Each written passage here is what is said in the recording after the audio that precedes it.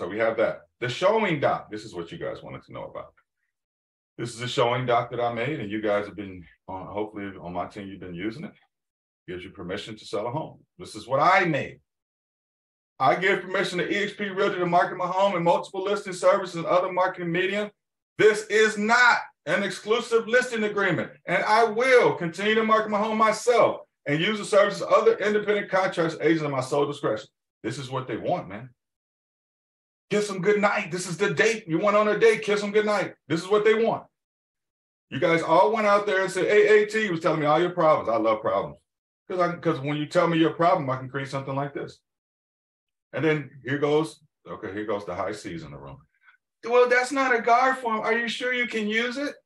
Well, according to the real estate commission and the test, it says that you can do anything you want. You can you can sign a real estate agreement on a napkin. Who's ever heard that besides me?